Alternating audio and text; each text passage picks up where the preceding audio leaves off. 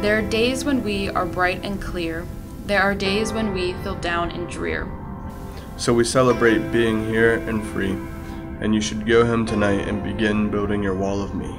This wall can be sturdy, intimidating, or visual, and a wall can be physical, mental, or virtual. Some walls stop, some walls keep out, other walls speak to hope, to believe. So, my call to you is to build your wall. It's called the Wall of Me. A wall that celebrates, not disparages. A wall that remembers, not forgets. A wall that represents your strengths, not hides.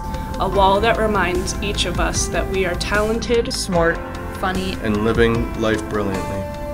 This wall is entitled The Wall of Me. In this world, there are walls that meet the call. The Wall of China is the longest wall. The Berlin Wall, so tall, had to come down. The Western Wall, where others wail and their prayers abound. The Vietnam Wall remembers our soldiers that were lost. The gum wall in Seattle comes at a chewing cost. So when your friends, family, and foes refuse to see, look them straight in the eye and tell them to come visit your wall of me.